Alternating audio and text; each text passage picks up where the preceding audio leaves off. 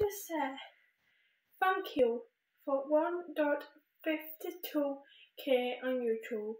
And yeah, I did say thank you for 1.51k on YouTube 10 days ago. And yeah, I am doing well on YouTube. And thank you for being a fan. And if you're being mean to me, please do not be mean in comments. What's the point being mean to someone? If you watch a video and they don't like it, do not comment. There's no point being mean to someone.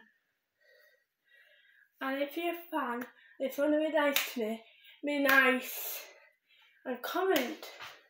And thank you for being nice to me. And if you're not nice to me, that's not very nice. Like, be nice.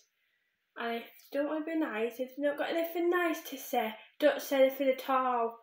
So yeah, bye.